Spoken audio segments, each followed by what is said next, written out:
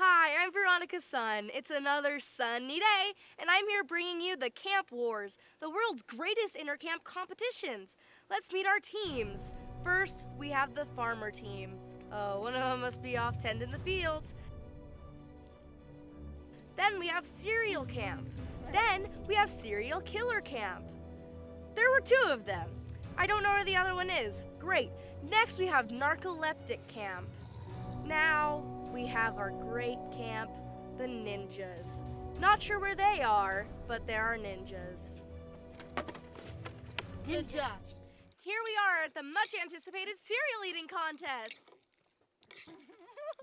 oh my, it looks like we already have a winner. The cereal killers. What? Ah!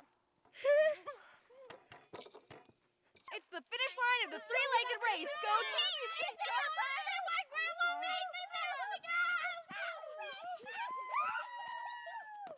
And the farmers win.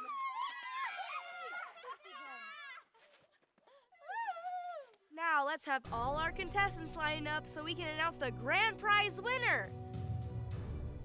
I don't know where they are. Looks like by default, Miss Serial Killer wins.